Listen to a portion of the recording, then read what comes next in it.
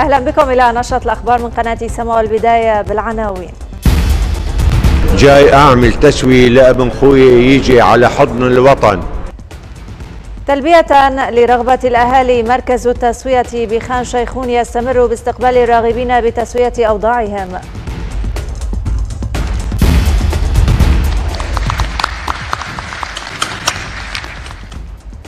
بمشاركة المقداد وعلى هامش الدورة السابعة والسبعين للجمعية العامة دول حركة عدم الانحياز تجدد مطالبة إسرائيل بضرورة الانسحاب من كامل الجولان.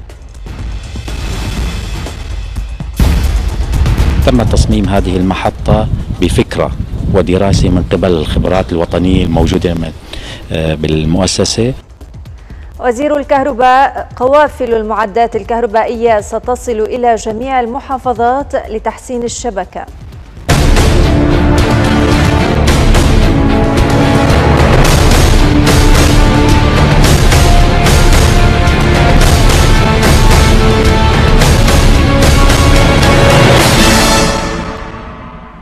أهلا بكم مجددا. دعا المدير الإقليمي لمنظمة الصحة العالمية في شرق المتوسط الدكتور أحمد المنظري المجتمع الدولي لرفع العقوبات المفروضة على الشعب السوري. التضامن معه لإعطائه فرصة لحياة كريمة يتمتع فيها بالصحة والعافية. قال الدكتور المنظري في بيانه حول الاحتياجات الصحية في سوريا عقب زيارته إلى دمشق ودرعا خلال الأيام الثلاثة الماضية. إن هذه العقوبات باتت تؤثر في الصحة العامة. أو في الوضع الاقتصادي ناهيك عما ينجم عنها من نقص الوقود والمياه والكهرباء.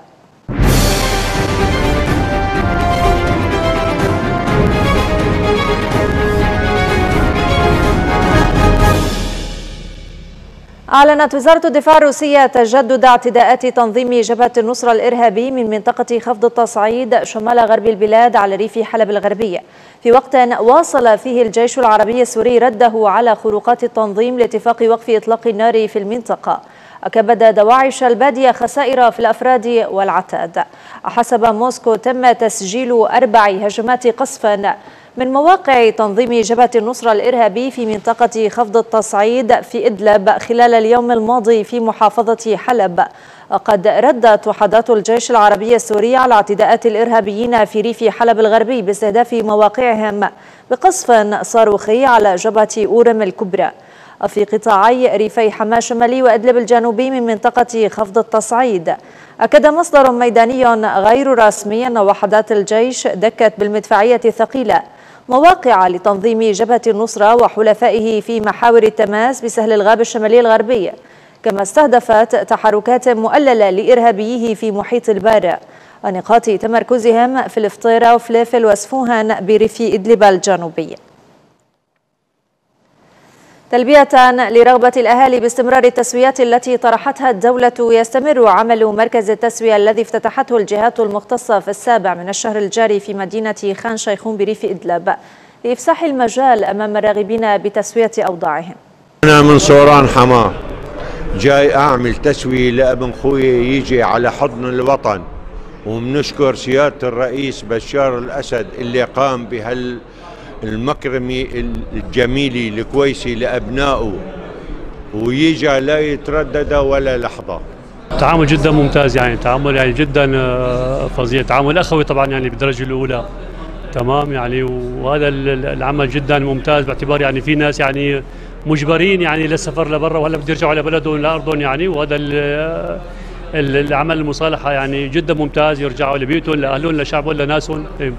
أنا عملت طلب مصالحة مشان ابني. أنا فران من 2020 وهلأ جاي أسوي تسويه في منطقة إدلب 2022 بشكر السيد الرئيس آه، على التسوية وعلى الوضع اللي إحنا فيه هلأ حاليا. جددت الصين دعوتها الولايات المتحدة إلى ضرورة احترام سيادة سوريا ووحدة أراضيها والتوقف عن نهب مواردها الوطنية. قال المتحدث باسم وزارة الخارجية الصينية وانغ وين بن في مؤتمر صحفي.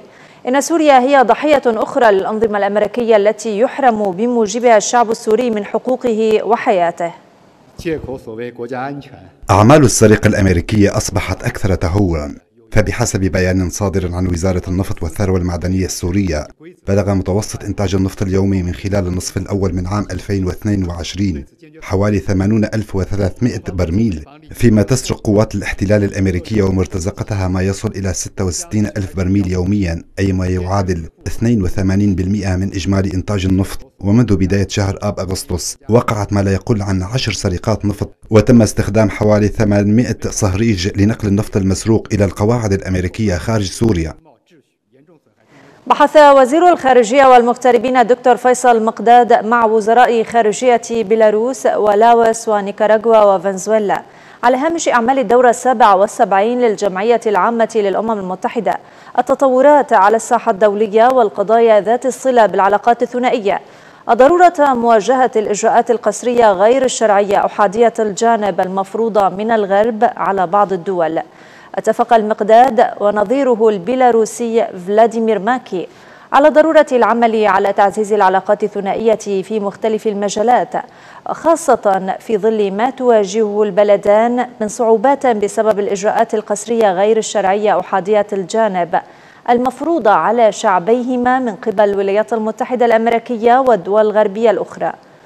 خلال لقائه وزير خارجية نيكاراغوا دينيس مونكادا لفت المقداد إلى أن التعاون والتنسيق بين البلدين في المحافل الدولية هو في أعلى صوره ويجب أن يستمر وخاصة في ظل التحديات التي يتعرض لها البلدان بسبب السياسات المعادية للدول الغربية.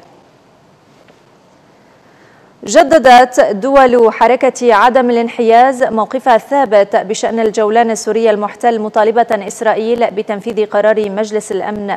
رقم 497 لعام 1981 وضرورة الانسحاب الكامل من الجولان السوري المحتل حتى خط الرابع من حزيران لعام 1967 وفقا لقراري مجلس الأمن 242 و 338 اعتمدت الحركة خلال اجتماعها الوزاري بمشاركة وزير الخارجية والمغتربين الدكتور فيصل مقداد على هامش الدورة السابعة والسبعين للجمعية العامة. إعلانا سياسيا عكس مواقف الحركة من مختلف القضايا على الساحة الدولية وخاصة التأكيد على موقفها المبدئي والتزامها الثابت بمكافحة الإرهاب بجميع أشكاله ومظاهره. وضرورة إقامة نظام عالمي عادل ومنصف بعيدا عن الأثر السلبي للأزمات المالية والاقتصادية العالمية. استمرار نقص الموارد وعدم المساواة في معدلات التبادل التجاري. وعدم تعاون البلدان المتقدمة فضلا عن تأثير التدابير القسرية التي يفرضها بعضها. استخدام القوة أو التهديد باستخدامها. في نيويورك أيضا عقد وزراء خارجية روسيا وإيران إضافة إلى النظام التركي اجتماعا وزاريا بصيغة أستانا. بشأن الوضع في سوريا على هامش الأسبوع رفيع المستوى للجمعية العامة للأمم المتحدة بمحادثات خلف الأبواب المغلقة. ويأتي الاجتماع على خلفية تزايد قصف منطقة خفض التصعيد في إدلب من قبل مسلحي جبهة النصرة. وإشارات من أنقرة حول احتمال تنظيم مباحثات سورية تركية بين مسؤولي البلدين. هذا وقد انضم الممثل الخاص الأمين العام للأمم المتحدة لسوريا جير بيدرسون إلى الوزراء في الاجتماع.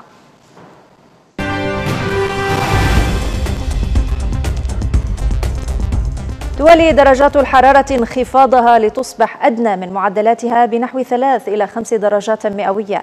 نتيجة تأثر البلاد بامتداد منخفض جوي سطحي من الجنوب الشرقي يترافق بامتداد ضعيف لمنخفض جوي في طبقات الجو العليا.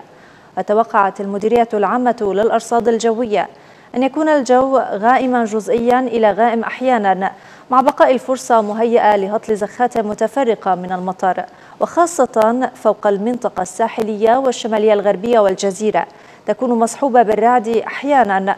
وتكون الأجواء ليلا باردة نسبيا بشكل عام مع نسبة رطوبة مرتفعة خلال ساعات الصباح الباكر في المرتفعات الجبلية والمناطق الجنوبية الغربية والوسطى.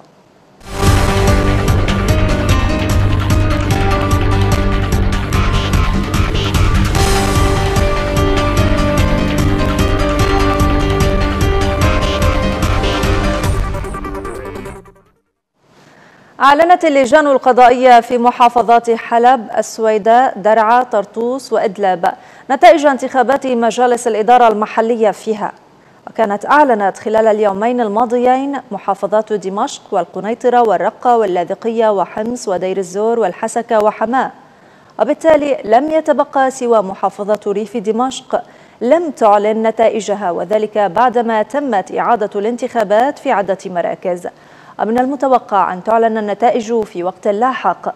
وقد أوضح مدير المجالس والتنمية المحلية في وزارة الإدارة المحلية محمد إياد الشمعة في تصريح سابق أن وزير الإدارة المحلية يدعو المجالس المحلية خلال 15 يوما للانعقاد من يوم صدور المراسيم والقرارات الخاصة بها. وفي حال لم تتم الدعوة تعتبر هذه المجالس منعقدة في اليوم السادس عشر.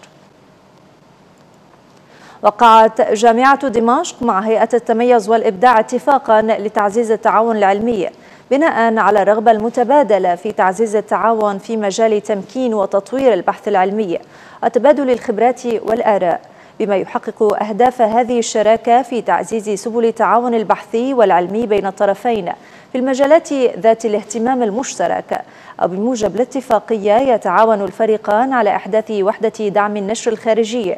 التي تهدف إلى تطوير وتمكين أسس النشر الخارجي لدى الباحثين التابعين للفريقين. وتأمين بيئة علمية مناسبة تتضمن الأدوات اللازمة للباحثين للعمل على أبحاثهم بطريقة علمية ممنهجة ومنظمة. وبما يتوافق مع المعايير العالمية كذلك التعاون في إجراء البحوث والدراسات المشتركة في المجالات العلمية والاستفادة المتبادلة من الخبرات والكوادر البحثية لديهما. والتعاون أيضا في تنظيم الفعاليات العلمية والبحثية إضافة إلى إعداد وتنظيم البرامج التدريسية التي تستهدف بناء الخبرات البحثية الشابة وتمكينها من أدوات البحث العلمي. الاتفاقية تتعلق بإنشاء وحدة دعم النشر العلمي البحثي الخارجي طبعا النشر العلمي له أهمية كثير كبيرة في مجال رفع تصنيف الجامعات وفي مجال إيجاد موطئ قدم واضح ومميز لجامعة دمشق في مجال البحث العلمي العالمي. حبينا نعمل هذا المشروع المشترك مع الجامعة كونه هي حاضنة أساسية لطلاب البرامج الأكاديمية باختصاصات نوعية آه، لحتى تكون آه، هي آه، الرابط ما بين طلابنا وطلاب الجامعة بما يخص النشر الخارجي ودعم آليات النشر الخارجي ضمن الجامعة. أفراد الموجودين كطلاب هن مميزين وكفاءات كبيرة جدا.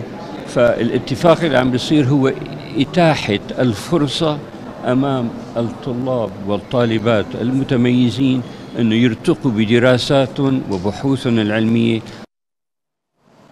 وصلت قافلة من التجهيزات والمعدات والمحولات الكهربائية إلى محافظة حماة لدعم عمل الشبكة الكهربائية في المحافظة. وتنفيذ أعمال الصيانة بهدف تحسين واقعها. أوضح وزير الكهرباء المهندس غسان الزامل أن هذه القافلة تأتي في إطار الدعم الحكومي لإعادة صيانة المنظومة الكهربائية وتحسين الواقع الكهربائي واستقراره في محافظة حماة. لافتا إلى أنه تم تجهيزها لتضم محولات وأبراجا وكابلات وأمراس ألمنيوم لإعادة تأهيل وصيانة المنظومة الكهربائية. 13 شاحنة وصلت محافظة حماة محملة بتجهيزات ومعدات كهربائية. تهدف لتحسين واقع المنظومة الكهربائية في المحافظة وسط آمال المواطنين بتحسن ترددية الشبكة والتخفيف من الأعطال المستمرة. القافلة تضمنت مراكز تحويل وزيوت خاصة بالمحولات وأبراجا حديدية وأعمدة بيتونية وكابلات وأمراسا وعلب وصل وسيتم توزيعها وفق الأولويات لمختلف مناطق المحافظة ريفا ومدينة. هذه المحطة هي كانت محطة نقالة في اختناقات بمحطة الإسمنت ومحطة حما تم تصميم هذه المحطة بفكرة ودراسة من قبل الخبرات الوطنية الموجودة آه، بالمؤسسة وتم تنفيذها من أجل تخفيف عن محطة الإسمنت ومحطة حما اثنين. العمال الفنيين فيها ممتازين مجموعاتنا شغالة حمولاتها جيدة.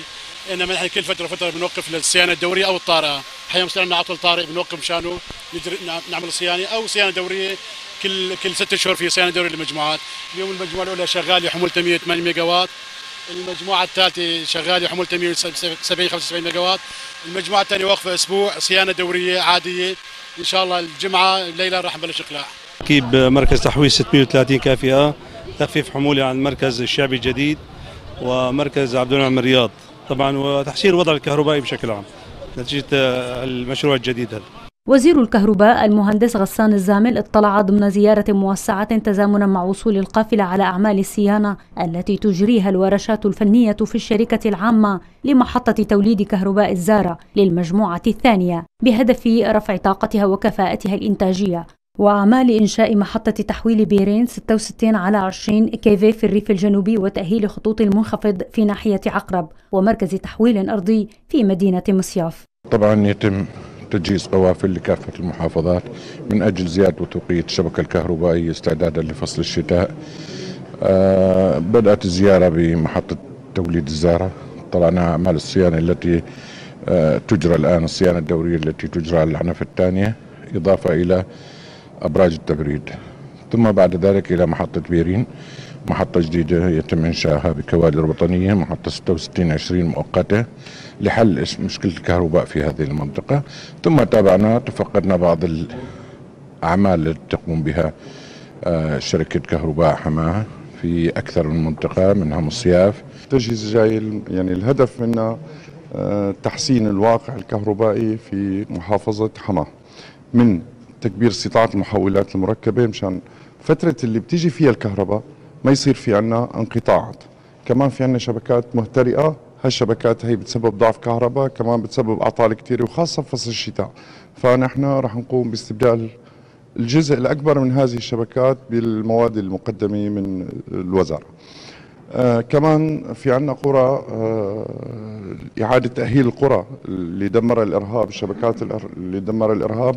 حسب الخطط الموضوعة راح نقوم بإعادة الشبكة الكهربائي لهذه القرى من أجل مساعدة الأهالي العودة إلى استقرارهم في قراهم. جهود حكومية كبيرة لتحسين واقع الشبكة الكهربائية في كافة المحافظات السورية. قبل قدوم فصل الشتاء بجهود وخبرات وطنية لعلها تنعكس إيجابا على المواطنين.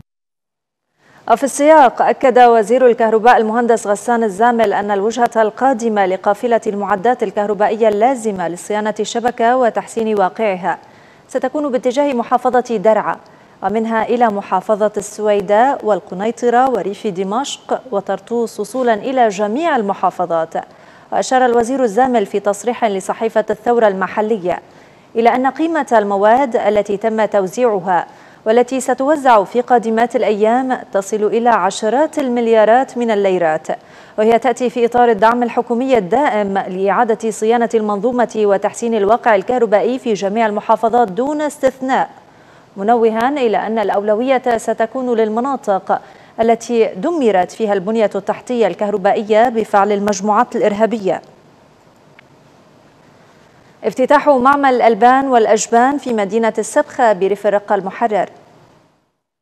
بالتعاون بين مديرية الشؤون الاجتماعية والعمل بالرقة وبرنامج الأمم المتحدة الإنمائي ينفذ مشروع دعم سلسلة القيمة للمنتجات الحيوانية وبإشراف جمعية سوريا اليمامة. تم افتتاح معمل الأجبان والألبان في مدينة السبخة بريف الرقة الشرقي المحرر. المعمل يستقبل الحليب من مربين الأبقار والأغنام. إحنا نأخذ قدر إمكاننا الحليب بأعلى سعر. ونحوله أو نصنع منه لبنة وجبنة ولبن. ونبيع المنتج بأقل الأسعار يعني بأسعار منافسة للسوق المحلية. تقريبا يعني إحنا بدنا نحاول نصل إلى من 300 إلى 500 كيلو. عم نطور يعني بدأنا ب 50 كيلو الآن وصلنا إلى 110 120 كيلو. آه نقوم إحنا بدورنا بالاستلام الحليب من المراضعين ومربين المواشي وفحصه في المخبر بالقسم في المعمل آه لفحصه الدسم وإلى آخره ونظافته وإذا في خلط ماء أو كذا إلى آخره. آه نشرف على نظافة الإنتاج ونظافة المعمل ويكون يكون عالية الجودة. نفحص درجة الحرارة إنه الحليب لسه طازج ولا صار له يوم يومين كذا. فعندنا درجة حرارة لازم تكون ضمن درجة حرارة الجسم الطبيعي. فعندنا مقياس ثاني اسمه هو البي اتش الحموضة. فهنا نقيس إحنا البي اتش. عندنا للبي اتش عندنا مقاييس محدد عندنا يعني بشكل تقريبي من الستة ونص للسبعة هنا درجة البي اتش هاي تكون مقبول. إذا كان أعلى منها فهنا الحليب ما نستقبله إحنا. يستقبل المعمل الحليب من مربي الأغنام والأبقار بأعلى سعر ويستخرج منه جميع مشتقاته بعد أن يخضع لفحص في المخبر الخاص بالمعمل ويطرح بالسوق المحلية بسعر التكلفة. وقد بلغت القدرة الإنتاجية للمعمل 500 كيلوغراما تقريبا يوميا والمعمل قيد التطوير. نحن عاملاتين نستقبل الحليب ونصفي بعدها نخفره لتصير درجة الحرارة 50 أو 45 آه هذا المعمل الجديد يعني أول مرة يفتح عنا بالصفخة ووفر فرص عمل الشباب وبنات هذه المنطقة وبالإضافة إلى كافة مشتقات الألبان والأجبان. يرفض المشروع الأسواق المحلية بمنتجات الألبان والأجبان طبقا للمواصفات القياسية وبأسعار منافسة. ويساهم بخلق فرص عمل جديدة لعدد من الأسر في المنطقة.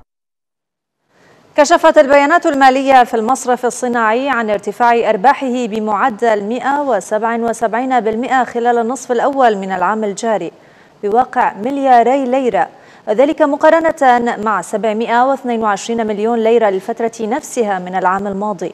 هذا ومنح الصناعي في الربع الثاني من العام الجاري 110 قروضا تجاوزت قيمتها 5 مليارات ليرة. وهو يمثل ارتفاعا بمعدل 29% في عدد القروض التي منحها مقارنة مع الربع الثاني من العام الماضي. كما منح الصناعي 55 قرضا صناعيا وحرفيا بقيمة مليارين ونصف المليار ليرة.